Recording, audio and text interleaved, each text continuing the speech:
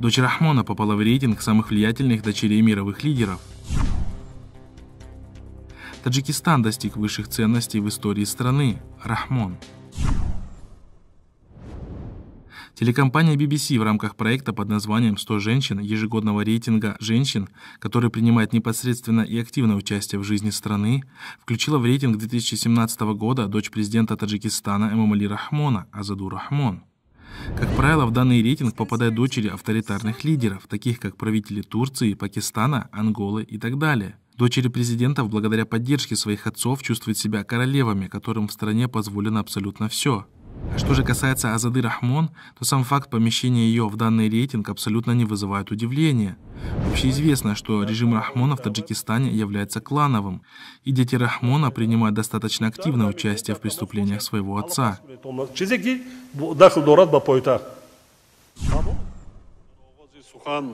Эмамали Рахмон на приуроченной к Наврузу круглом столе встречи с научной интеллигенцией отметил, что интеллигенция должна доносить молодежи, что Таджикистан достиг высших ценностей в истории страны, а молодежь должна гордиться этим.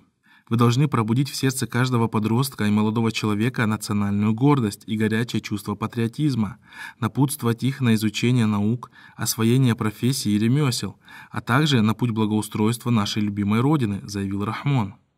Также президент поставил перед собравшимися ряд задач.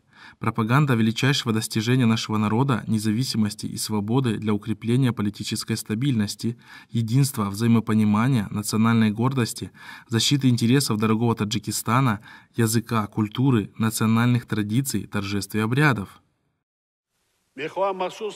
Однако Рахмон при этом не отметил ни одного конкретного достижения Таджикистана за последние 25 лет. По мнению таджикского блогера Фирдавса Салимзады, итогом 25-летнего правления Рахмона, например, является то, что более миллиона граждан Таджикистана стали трудовыми мигрантами. Уровень образования в стране упал в несколько раз. Таджикистан считается самой бедной страной в регионе. В десятках населенных пунктов отсутствуют элементарные линии электропередач. У 40% населения Таджикистана отсутствует доступ к чистой воде. Капля вода там не должна лишний раз.